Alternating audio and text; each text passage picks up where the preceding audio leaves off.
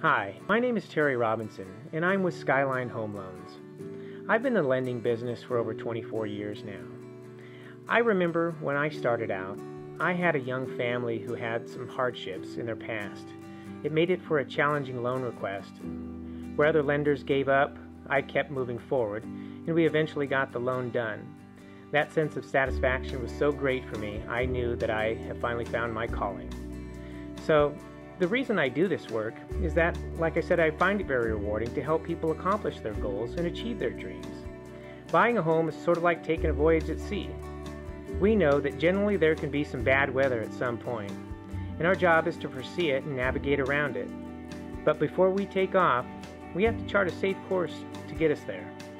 So, what that means is that we have a loan program that you understand what the monthly payment is, what the down payments are, what the tax benefits may be, and hopefully there is enough money left over at the end of the month where you can actually pay down your mortgage or put the money aside for other investments.